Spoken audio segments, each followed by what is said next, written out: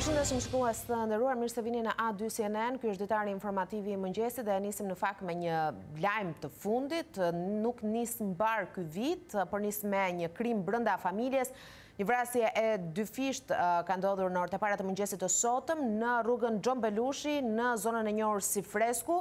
Dy vëllezër janë konfliktuar me njëri tjetrin, një gjashtëdhjetë e tre vjeçar ka vrarë me armë zjarri të vëllanë, është gjashtëdhjetë e tetë vjeçarin dhe më pas ka vrarë edhe veten.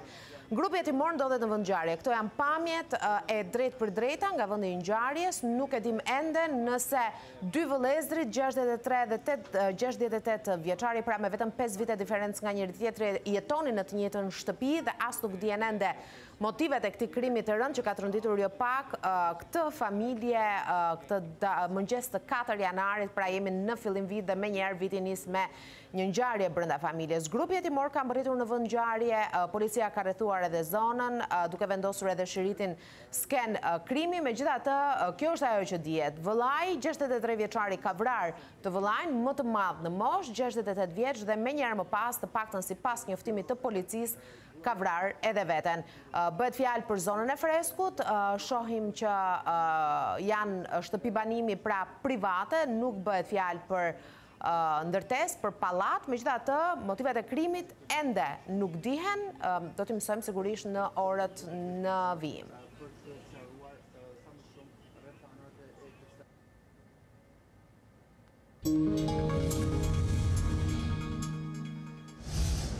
Sali Berisha foli për herë të parë që pas izolimit në shtëpi.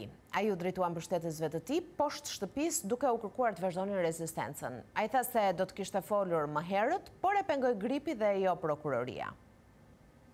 Jetojmë në një vend ku Kushtetuta zëvendësohet me vullnetin e lig të një njeriu që vjedh dhe që ka vjedhur në dhjetë vite më shumë se të gjithë kryeministrat shqiptarë dhe pushtues të të gjitha kohrave. Jetojmë në një vend nga i cili, si në asnjë vend tjetër në Europë, shqiptarët largohen me brenget, me brengën e madhe se këtu nuk jetohet. A ka pra mision më të shenjtë, a ka gjë më të madhe se të firmosim kthesën e historisë? A ka gjë më të madhe se së bashku të firmosim përmbysjen e kësaj diktature të dytë në tridhjetë e dy vite. Të bindur për reaksionin e tyre kundër Edi Ramës dhe për të drejtat parlamentare, deputetët e opozitës janë përballur me përjashtime të shumta, kryesisht nga dhjetë ditë. Pothuajse të gjithë prej tyre janë përjashtuar të paktën një herë, por në këtë sesion ndëshkimi është edhe më i rëndë, pasi pas ndryshimit të rregullores, ata mund të qëndrojnë larg parlamentit për dy muaj. Fiorella Beleshi na bën një përmbledhje të deputetëve që janë ndëshkuar më shumë dhe nga sa ditë kanë munguar ata. Nga pesë tetori deri në fund të dhjetorit kur u mbyll dhe sesioni parlamentar Partia Socialiste jo vetëm që nuk ishte e gatshme të dialogonte për kërkesat e opozitës për ngritjen e komisioneve hetimore por iu kundërpërgjigj aksionit të saj me ndëshkime parlamentare. Me anë të Sekretariatit të Etikës të mbledhur fizikisht dhe online, mazhoranca përjashtoi njëzet e nëntë deputetë demokratë me në krye Sali Berishën dhe kreun e grupit parlamentar Gazment Bardhin, pasi u pa që masa disiplinore me dhjetë ditë përjashtim nuk po e zbrapste aksionin e pakicës, të majtët ndërmorën nismën duke e ligjëruar më pas në parlament për të ashpërsuar dënimet deri në gjashtëdhjetë ditë.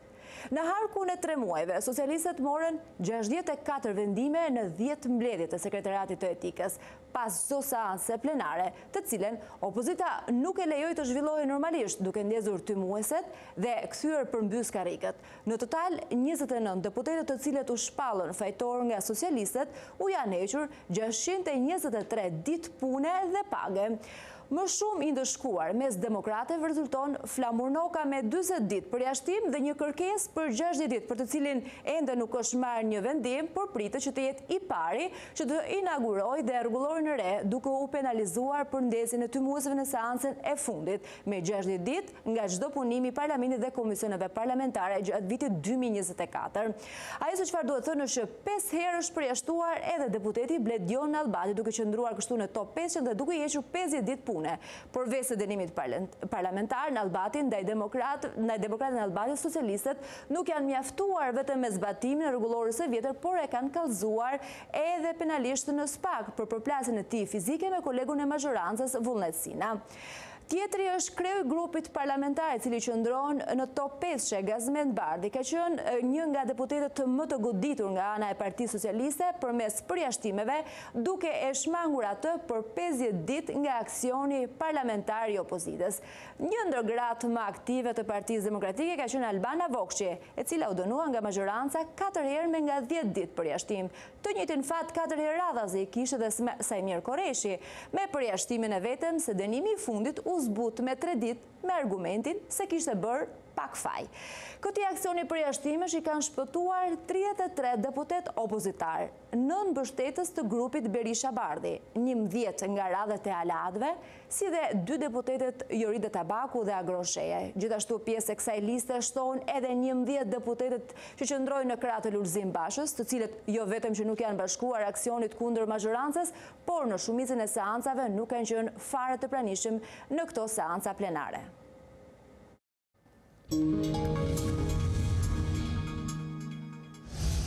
Zëvendëskryeministrja Belinda Balluku inspektoi punimet në kantierin e autostradës Thumanë-Kashar, pjesë e korridorit blu, ku ka nisur procesi i asfaltimit dhe realizimi fizik i punimeve ka arritur në gjashtëdhjetë e pesë për qind. Balluku theksoi se punimet kanë avancuar me ritme të kënaqshme në aksin e ri, që pritet të përfundojë në qershor të këtij viti. Jemi në një nga kantieret më të rëndësishme në kantierin e Thumanë-Kasharit. Koncesioni i Thumanë-Kasharit, të cilin me zi e presim që të dorëzohet këtë verë, pasi do të shpëtojnë një herë e mirë të gjithë ata drejtues automjetesh. Tashmë jemi duke shtruar asfaltin, pra jemi në fazat finale, diçka një ecuri 65% përsa i përket të gjithë volumit të këtij projekti. Përveçse është një aks prej 20 kilometrash i gjatë, kemi njëmbëdhjetë ura, mbi njëqind vepra të tjera arti që janë tombino, kanale kulluese të ndërmjetme dhe kemi gjithashtu gjashtë nënkalime, pra për çdo aks rrugor i cili ndërpritet që i shërben komuniteteve kemi ndërtuar një nënkalim. Për të kapur afatin që kemi vendosur që është sezoni turistik i vitit, i këtij viti ne e kapim një rrugë në funksionim të plotë dhe vazhdojmë paralelisht, pra asfaltojmë, hedhim stabilizant, bëjmë mbushjen e trupit të rrugës dhe ndjekim një ritëm të kënaqshëm. Gjithashtu ndihemi mirë për këtë projekt sepse kjo është një autostradë e kategorisë A me një gjerësirë 11.75, e cila do të ketë dy korsi shpejtësie, një korsi të tre, tre metra emergjence, pra korsi e plotë emergjence dhe pastaj ka edhe një pjesë të bankinës që uh, qëndron dhe më rëndësishme për, të, për teksa është që është e para autostradë në Shqipëri e cila do të jetë e kufizuar me gardh. Pra nuk lejohet më as hyrje as dalje. Ky është një nga segmentet e korridorit blu, i cili ne shpresojmë që të kemi në të njëjtën mënyrë ecuri në të gjithë segmentet e tjera. Pagat u rritën në vitin 2023, kënaqshëm apo jo, ishte një rritje sipas ekspertëve 7 deri në 15%, premtimi të paktën për sektorin, për punësimin në sektorin publik, pra për administratën publik është do të vijojnë të rriten, të paktën paga mesatare deri në 900 euro në muaj, gjithsesi ne flasim edhe për nivelin e papunësisë, por edhe për rritjen e pagave dhe profesionet më të kërkuara, kështu quhet edhe analiza e tregut të punës të realizuar mes të tjerash edhe nga eksperti i punësimit Erald Pashaj që është sot me ne në studion e ditarit. Mirë se vjen, kënaqësi që je me ne. Mirë se ju gjej. Na jep disa lajme të mira në fillim të këtij viti. Profesionet që pritet të kërkohen dhe të paguhen më shumë titullohet Kjo analizë, mos prisnim më rritje të larta pagash, tani, nga t'ia nisim? Unë thashë pagat në dy mijë e njëzet e tre-shin u rritën. Mjaftueshëm apo jo? U rritën ndjeshëm. Ndjeshëm. Dhe mjaftueshëm është diçka që asnjëherë nuk do të themi që kjo është e mjaftueshme, por siç ju e përmendët, rritja e pagave nga shtatë deri në pesëmbëdhjetë për qind, por ka qenë dyshifrore në pjesën më të madhe, ka filluar nga dy mijë e njëzet e një-shi, pra ishte viti i tretë radhazi, pra ky Po, në analizën tonë, ky çekuilibrim i tregut ndodhi gjatë, mbas pandemisë, për shkak të kërkesës së madhe për punësim, ndodhi që tregu u çekuilibrua dhe i vetmi mekanizëm që unë e kam përmendur dhe më parë për ta çuar drejt ekuilibrit ishte rritja e pagës nga punëdhënësi. Ne kemi patur një treg tre vjet përpara të kontrolluar plotësisht nga punëdhënësi, edhe sot kontrollohet prej tij, po jo në të njëjtën masë. Pra sot është më i dyanshëm tregu i punës, pra është një marrëdhënie dypalëshe, mhm. Gjithmonë e më shumë është dypalëshe, po ende kontrollohet nga nga punëdhënësi, kurse tre vjet më parë kontrollohesh plotësisht prej tij. Ë tani për sa i përket rritjes së pagës, kjo nuk mund të vazhdonte përgjithmonë. Ne kemi vënë re që në gjashtëmujorin e dytë të dy mijë e njëzet e treshit, pra si filluam ne ta bëjmë këtë analizë, pamë që kërkesa që vinte nga punëkërkuesit, Përkundrejt punëdhënësve, që përpiqeshin të kishin paga më të larta, gjashtë mujor i dytë ata nuk po i përgjigjeshin më. Pra e bërë thjesht, një punonjës i caktuar kërkonte një pagë dhe thoshte unë që të vij në filan institucion ose filan kompani dua iks pagë. Këtë pagë nuk i përgjigjej më punëdhënësi, që në dy vjet e gjysmë përpara ishte përgjigjur duke ia plotësuar këtë kërkesë. Automatikisht ul pritshmëritë, ul kërkesën? Automatikisht ndodh, tashi tenton. Gjithmonë tregu gjithmonë ka një lloj kokëforcie, tenton, por në qoftë se kjo nuk të ofrohet, sepse çfarë ndodhi nga krahu i punëdhënësit, ata panë që po po merrnin pak a shumë dhe po marrin të njëjtën cilësi pune, po duke e paguar dyzet deri në dyzet e pesë për qind më shumë. Pra do të them që dhe cilësia e punës te ne nuk u rrit, aq sa prisnim, Edhe produktiviteti nuk u rrit, të gjitha këto çuan që pagat që punëdhënësi jepte mendonte që prit se kjo është maksimalja që ne mund të ofrojmë dhe shtuar këtu që ekonomia kaq mund të prodhojë. Pra, arriti në një pikë që sigurisht rritje pagash do ketë, pra lajmi i mirë është që do të ketë rritje pagash, por kjo rritje nuk do të jetë më siç ka qenë më parë. Dhe ne parashikojmë që do të jetë nga katër në tetë për qind që kryesisht do të përfshijë inflacionin, Pra do ketë një lloj indeksimi, ai ndodh në mënyrë automatike, nuk është se do të ndodhë që dikush. Këtë doja të të pyesja kur po. kur thashë mjaftueshëm dhe jo kënaqshëm, thashë mjaftueshëm për të përballuar edhe rritjen e çmimeve, sepse ne kemi folur gjithmonë për uh, pensionet, inflacioni, atë që ne shpenzojmë po. më shumë. Por kjo rritje e pagës ka qenë mjaftueshëm për të mbuluar njëkohësisht shtrenjtimin e jetesës, nëse mund ta po. themi kështu. Atëherë, se duke thënë këtë, ata që na dëgjojnë mendojnë që në qoftë se çmimet rriten, automatikisht do rritet dhe paga. Jo, nuk është kështu. Tregu i punës funksionon ndryshe. Funksionon në kërkesë ofertë për një punë caktuar. Në qoftë se dikush sot është i gatshëm që të punojë me një çmim më të lirë, ai vjen punon dhe kjo nuk ka lidhje se sa janë çmimet në treg. Por sigurisht ka një indeksim dhe ky indeksimi bëhet për ta mbajtur mirëqenien dhe forcën blerëse të kënaqur dhe prandaj bëhet ky lloj indeksimi dhe këtë e bëjnë sigurisht ato kompani, ato shoqëri që janë të organizuara, të mira që mendojnë deri diku për po themi mirëqenien e punonjësve të tyre. Katër deri në tetë për qind, sepse këtu përfshihet, tetë për qind nuk është pak në qoftë se shkon në në maksimale, por katër për qind është në kufijtë e inflacionit, që edhe kjo në qoftë se ndodh nuk është keq që të ndodhë, sepse katër për qind një vit, pesë një vit tjetër dhe në fund të tre viteve mund të rritet një pesëmbëdhjetë për qind. por nuk do të jetë me rritjet që ne kemi parë, sepse dhe ekonomia jonë kaq mund të prodhojë.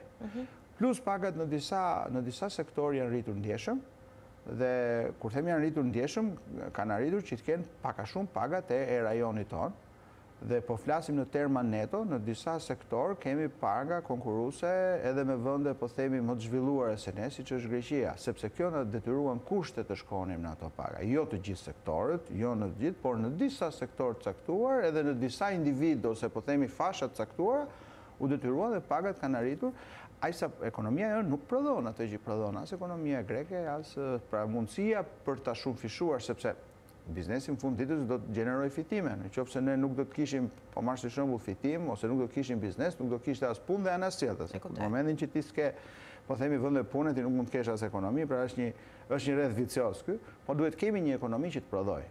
Dakord. Automatikisht, zoti Pashaj, rrogat duhet të rriten vit pas viti, se, po. Po.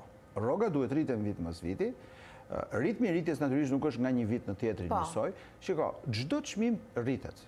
Nga viti në vit çdo çmim rritet nga pak. Pra çdo produkt që ne shohim në treg i rritet çmimi. Pse çmimi i punës nuk duhet rritet? E kuptoj. Pra kjo ka ndodhur në të shkuarën. Ne patëm një periudhë shumë të gjatë deri në dy mijë e njëzet e njëshin, po themi, fundi i dy mijë e njëzetës, që ne kishim të njëjtin çmim pune që kishim pas dhe përpara dhe në dy mijë e pesëmbëdhjetën dhe në dy mijë e dymbëdhjetën. Pra kjo ishte e papranueshme. Kështu që duhet rritet çdo vit, ë sigurisht inflacioni është një indikator, pra ti shikon që ky është një nga treguesit që ne duhet ndjekim, inflacioni, po s'është vetëm inflacioni, është edhe merita e individit në vendin e punës, pra dikush që ka meritë më të madhe në realizimin e të ardhurave në punë të caktuara, në cilësi etj, duhet të paguhet më shumë. Rregullimi i pagës sipas pozicionit të punës. Sipas pozicionit, sipas rrallësisë së pozicionit në treg.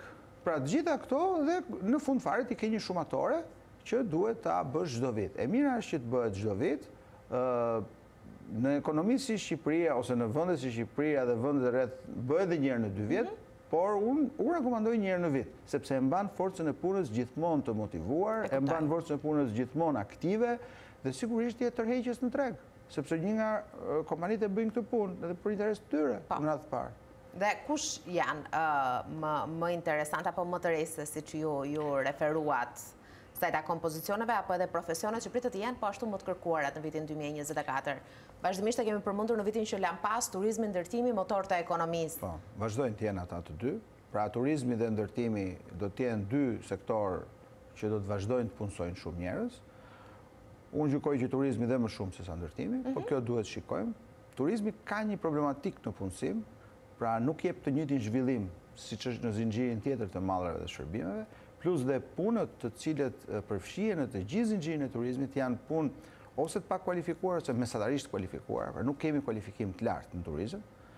Por gjithsesi, unë i kam renditur të gjitha ato punë që kanë një kërkesë të lartë në turizëm, disa prej tyre janë sezonale, disa nuk janë të tilla, Por sot për sot ne nuk kemi një studim të saktë për çmimet e punës në turizëm, duke përfshirë, duke u futur këtu që nga shoferët e autobusëve deri tek kamarierët dhe ndihmës kuzhinierët. Nuk e kemi sepse tregu i punës në turizëm është shumë i gjerë. Përfshin Shqipërinë në të gjithë dimensionet e saj. Nuk paguhet, po marr shembull, një kamarier në Velipojë, në Tiranë dhe në Palas njësoj. Njësoj. Nuk paguan njësoj një bar-restorant i thjeshtë, me një investim, me një hotel serioz që ka investuar shumë. Pra ka një diferencë dhe një, po themi, një situatë e cila nuk na jep mundësi që ne ta bëjmë këtë dhe të shikojmë se sa paguhet. Që të ketë një rregullim. Dhe ka fasha, pra ka raste që ne kemi parë paga edhe minimale, kemi parë dhe paga pesë herë paga minimale dhe gjashtë herë. Pra të gjitha këto çojnë që nuk ka një shpjegim.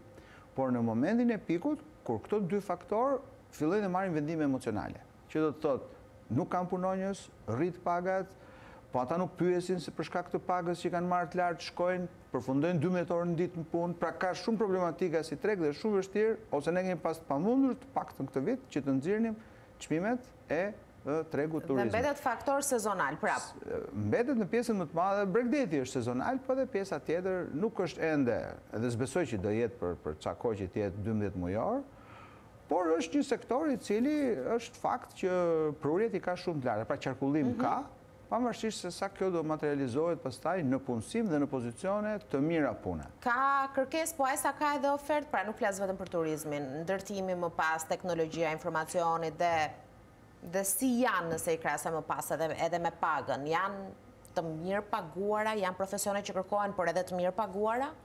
Atëherë, Janë më mirë të paguara se përpara. Po a do ishin në nivelin që po themi koha e kërkon? Unë gjykoj që ka ende vend. Me kë krahasohemi, zoti Pashaj, me kë e bëni krahasimin? Gjithmonë me vendet e rajonit. Gjithmonë me vendet e rajonit.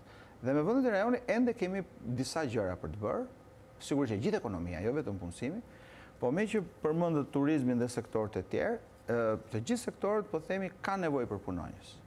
Ka një tendencë për këto punonjësit që vijnë nga jashtë, ende janë në në numër shumë të vogël për t'i marrë edhe për t'i konsideruar, pra në totalin e bile unë kam bërë një analizë ka turq, ka egjiptianë, ka nga Bangladeshi, në totalin e tyre për shembull në vitin dy mijë e njëzet e dy vetëm nga Egjipti ishin treqind e nëntëdhjetë e pesë persona. Pra ne nuk mundet tani që të marrim dhe të bëjmë një furtunë në një gotë me ujë, janë ende shumë pak. Vetëm leje qëndrimi ishin rreth tetëmbëdhjetë mijë. Mhm. Leje qëndrimi, kjo nuk do të thotë që janë leje pune. Pune, po. Pra sikur leje pune të jenë total janë diçka ke tetë mijë, janë shumë pak në shtatëqind e tetëdhjetë mijë të punësuar që ka Shqipëria. Por nevoja nuk është vetëm turizëm dhe ndërtim që kanë këto problematike.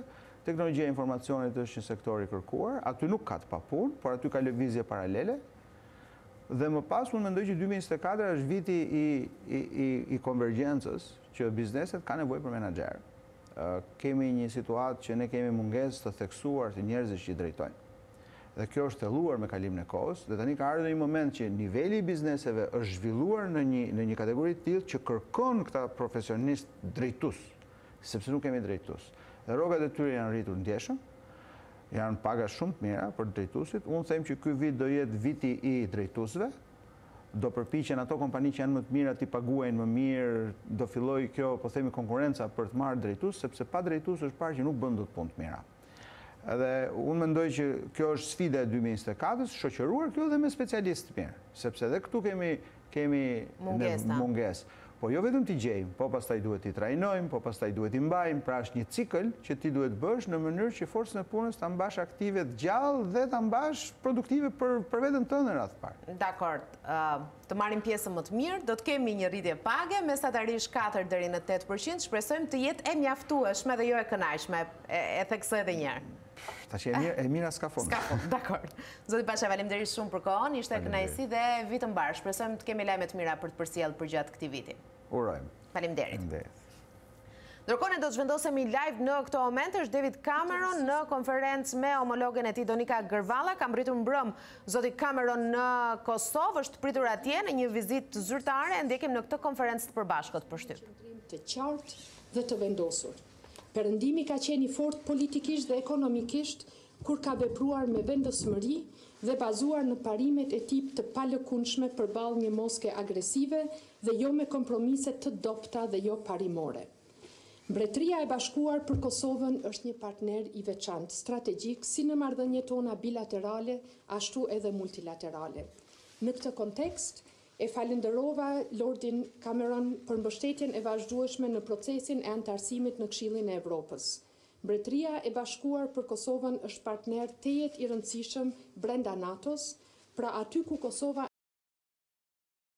e sheh veten pjesë të synimeve strategjike dhe përcaktimeve parimore të kësaj organizate. Mirëpo, rëndësi të veçantë marrëdhëniet tona nuk kanë vetëm në fushën e sigurisë, por edhe në diplomaci, ekonomi, arsim e shëndetësi, art, kulturë e sport. Këtu vura në pah rëndësinë e veçantë që ka mërgata jonë në Mbretërinë e Bashkuar, e cila është jo vetëm e madhe në numër, por pjesë e rëndësishme dhe e dukshme në të dy vendet dhe shoqëritë tona. Welcome again, dear Foreign Secretary Lord Cameron, and the floor is yours. Well, thank you very much, Foreign Minister, for welcoming me here today. I'm delighted to be here in Kosovo and to be here so soon in my term as, Foreign Secretary. Um, we're here to support you, um, to promote you, to help you uh, in all the ways that we can. We've talked this morning about your security an important contribution that we can make to that. Uh, we're proud of the fact that uh, Britain plays a big role in Cape Është kënaqësi të jem në Kosovë, thotë zoti Cameron. Jam këtu për t'ju asistuar, jam këtu për t'ju ndihmuar. And the great success that they've had in training in the UK. Um, and so we've talked about security, we've talked about your economy,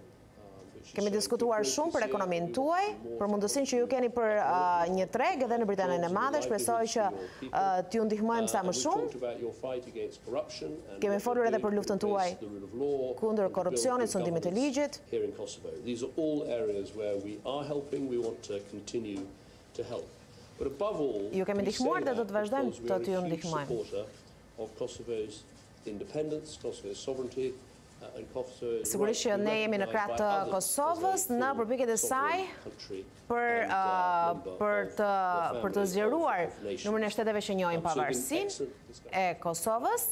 Jemi në në krahun tuaj, do të ndihmojmë edhe në vijim.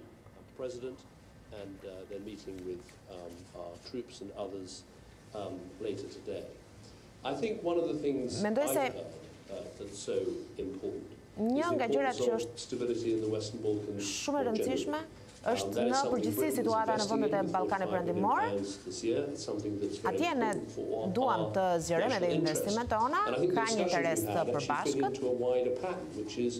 Kemi parë edhe lajmet, sot ka destabilitet, ka frikë për pasiguri, po jetojmë në një periudhë pasigurish dhe ne do të vijojmë të mbështesim miqtë tanë, aleatin tanë, aleatin tonë dhe do të investojmë në zona që kanë shënuar progres dhe stabilitet.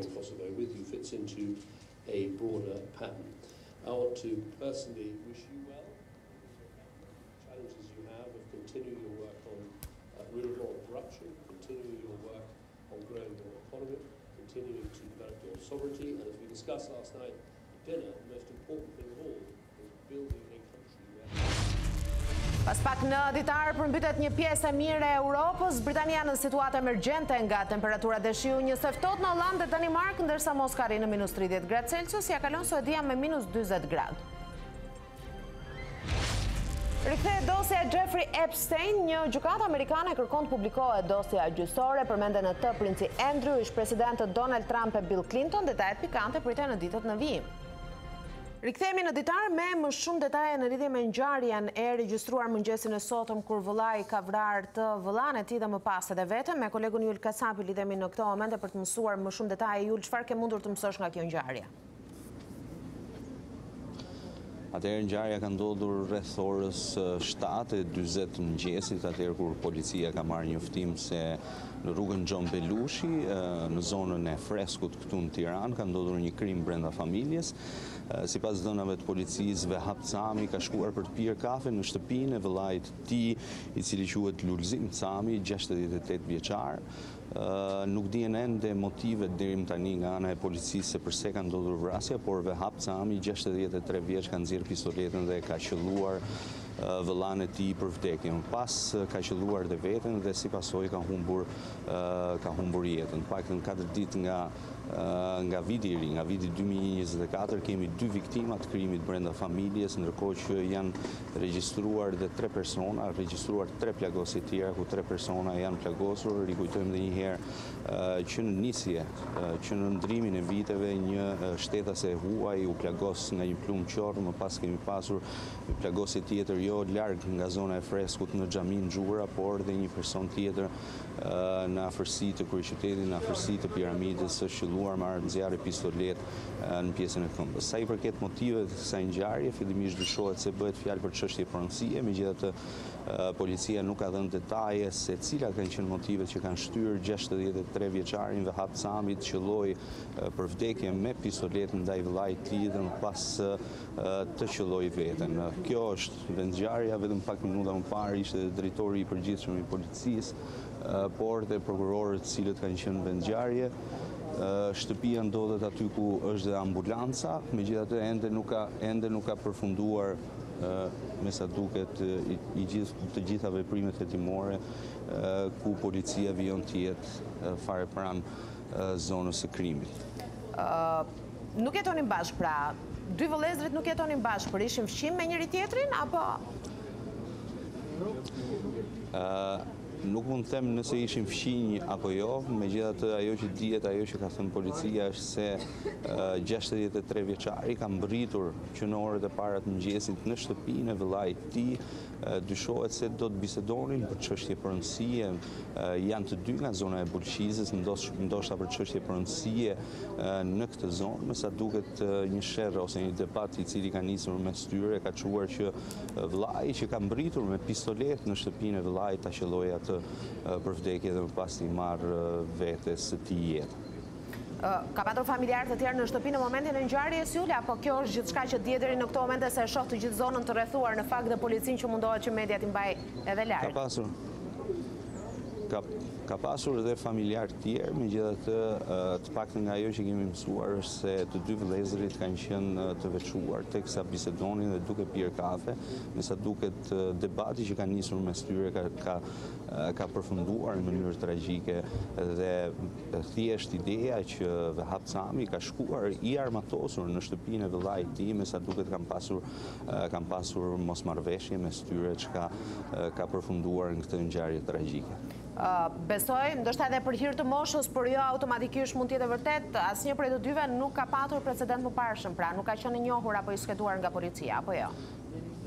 Jo, jo, jo, jo, nuk kanë pasur precedent më parshëm penal, me sa duket kjo ngjarje ndoshta ndoshta ka qenë e paralajmëruar, ndoshta ka pasur debate të vazhdueshme mes tyre, çka ka bërë që 63 vjeçari të shkojë i armatosur në shtëpinë e vëllait të tij, ndoshta për të sqaruar Të paktën atë që flitet sa i përket çështjes së pronësisë në zonën e Bulqizës, megjithatë, kjo mbetet për t'u konfirmuar në orët në vijim nga Policia e Shtetit. Dakord, faleminderit Jul, do të shohim nëse çështjet e pronësisë janë shkak i këtij krimi të rëndë brenda familjes, nëse do të mësosh të tjera detaje do të rilidhemi.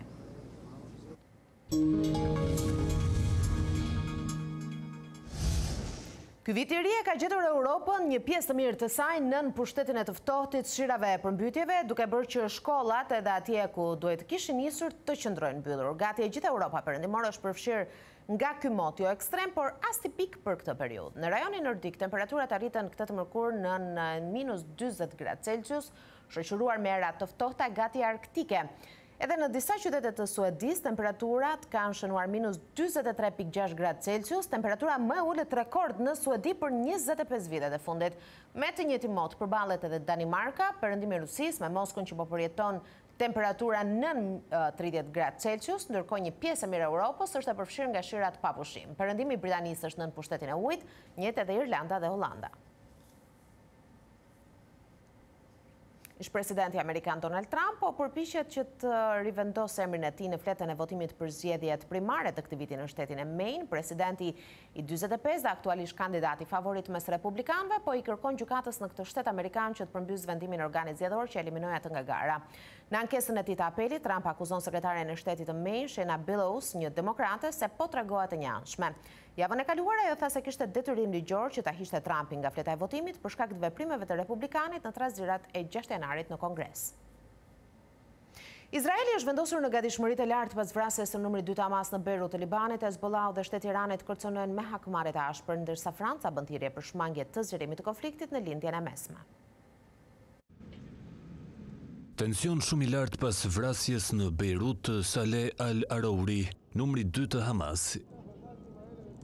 Izraeli nuk pranon të marrë përgjegjësinë për sulmin me dron, por një këshilltar i kryeministrit Benjamin Netanyahu e quajti operacionin një shënjestrim kirurgjikal. Ushtria e Shtetit Hebre është vendosur tashmë në gatishmëri të lartë për ndonjë hakmarrje të mundshme.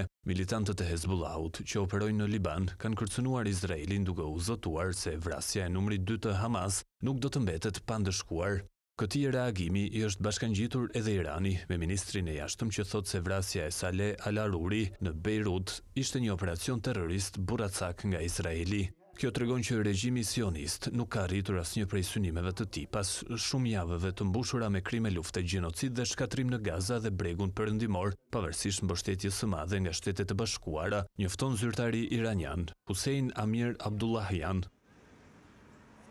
Mediat raportojnë se Izraeli nuk ka informuar Amerikën përpara sulmit kundër numrit dy të Hamas. Për këtë zhvillim ka reaguar dhe presidenti francez Emmanuel Macron, që kërkoi nga Tel Avivi që të shmanget një përshkallëzim apo konflikt i drejtpërdrejtë me Libanin.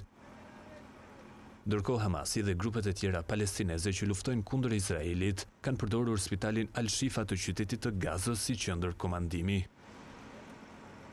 Këtë e raporton New York Times, duke cituar burime të inteligjencës amerikane. Shtetet e Bashkuara e konsiderojnë të papërgjegjshme idenë e zhvendosjes së palestinezëve nga Gaza, ndërsa ushtria izraelite lëshoi disa fletushka, duke kërkuar nga civilët që të largohen edhe nga disa zona në jug të enklavës. Agjencia e lajmeve Reuters ka mundur të sigurojë pamje të kompleksit të burgut brenda rrethit arktik ku qëndron për të vuajtur dënimin e tij prej gati tre javësh tashmë lideri i opozitës ruse Alexei Navalny. Ai qëndron në burgun e njohur si IK-3, pjesë e kolonisë së Ujkut Polar që konsiderohet një prej sistemeve të vuajtjes së dënimit më të ashpër në Rusi atje ku dërgohen të dënuarit për krimet e rënda. Dimri atje është tejet i ashpër, me temperatura që për gati pesë muaj qëndrojnë në minus tridhjetë gradë Celsius. Ky sistem burgjesh në qytetin Karp, gjashtëdhjetë kilometra në veri të Arktikut, është ngritur që në vitet gjashtëdhjetë, pasi më herët ka shërbyer si kampet e punës të ish-Bashkimit Sovjetik. Alexei Navalny u dënua në gusht të vitit të shkuar me nëntëmbëdhjetë vite burg dhe një pjesë të mirë të dënimit do duhet ta vuajë pikërisht në këtë burg.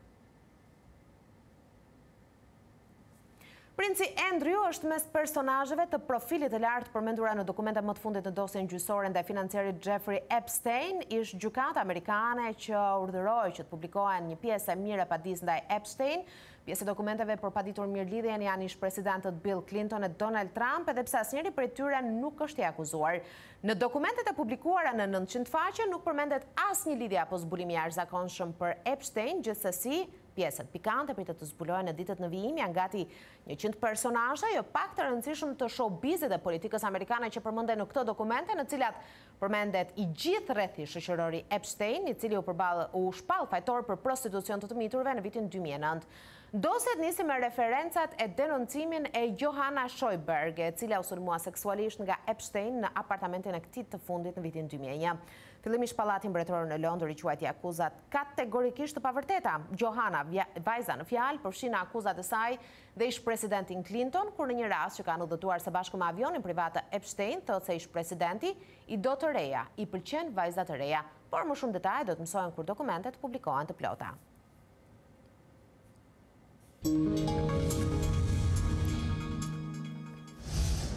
Do të përshëndes në këto momente, zotin Ragmi Mustafi, është kryetari i Këshillit Kombëtar Shqiptar, në këto momente na bashkohet në këtë lidhje të drejtpërdrejtë, mirë se vjen, faleminderit shumë për kohën dhe këto minuta. Mirëdita dhe mirë që Zoti Mustafi, së pari, ju uroj një vit të mbarë, ndonëse nuk ka nisur i tillë për politikën në Luginë të Preshevës. Ishte kërkuar dhe ne e bëjmë në këto momente këtë lidhje, sepse i është refuzuar një vizitë Ministrit të Punëve të Brendshme të Kosovës, Xhelal Sveçla, në Luginë.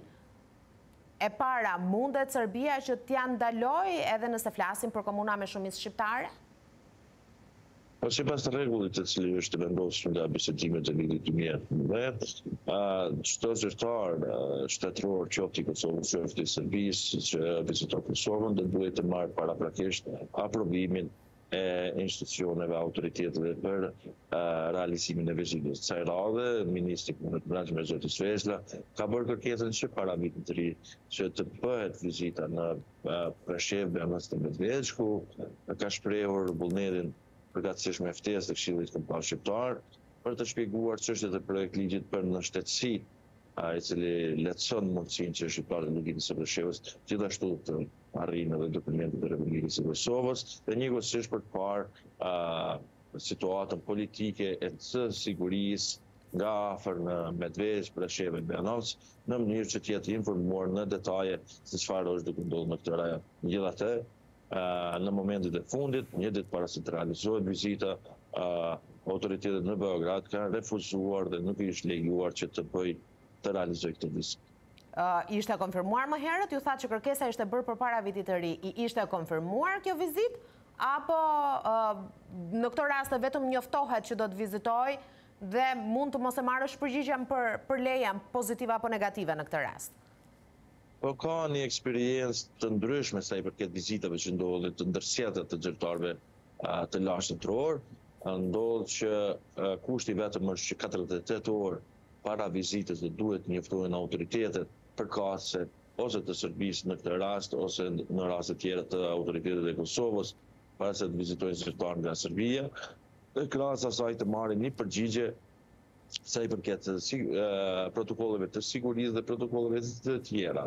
Megjithatë, ajo çfarë ndodh kohëve të fundit është që Serbia në vazhdimësi ndjek një qasje e cila në momentet e fundit para se të ndodhë vizita të refuzojë atë në këtë rast. Duket që hakmarrje në fakt, zoti Mustafi, nëse e krasojme dhe ma të se qëfar ka ndodhur herëve të shkuara, për shembull kur zyrtarëve serbë u ishte refuzuar Kalimi për në Kosovë.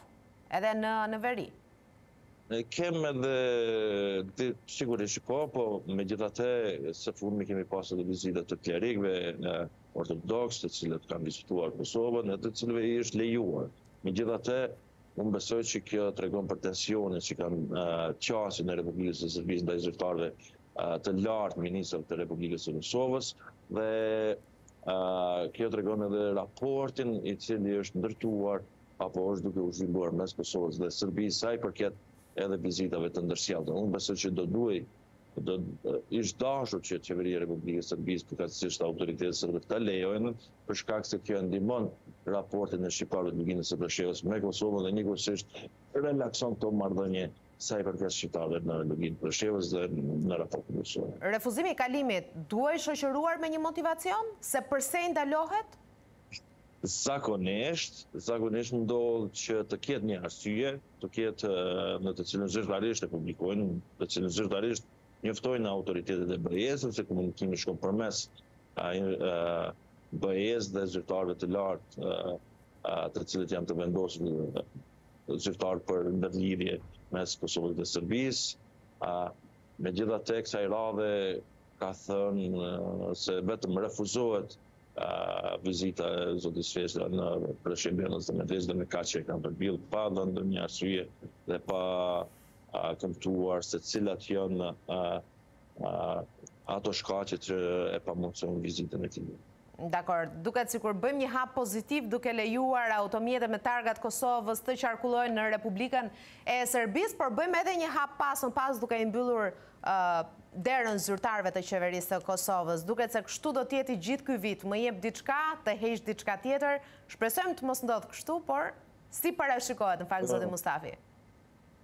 Unë besoj që do të jetë një vit sfidues sa i përket raporteve Kosovë-Serbi, aq më tepër të raportit të shqiptarëve të Luginës së Preshevës me Kosovën dhe Shqipërinë.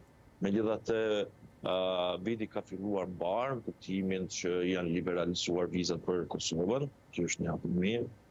Largimi i stikersave përkatësisht targave është edhe ky një hap i mirë e aq më tepër besoj që Këto do të ishin disa nga indikatorët që paralajmërojnë një vit sfidues e besoj që edhe me fat për gjithë shqiptarët gjithandej.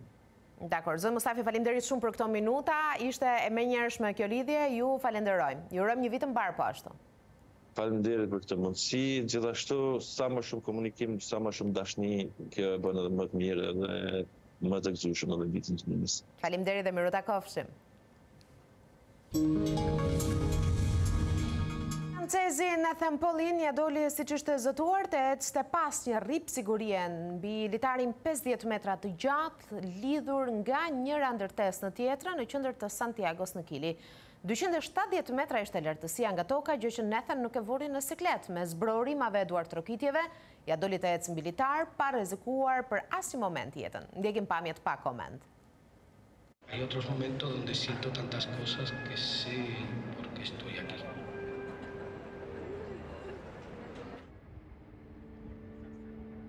Eso es algo que me pasó. Es ahí que tengo las mejores sensaciones.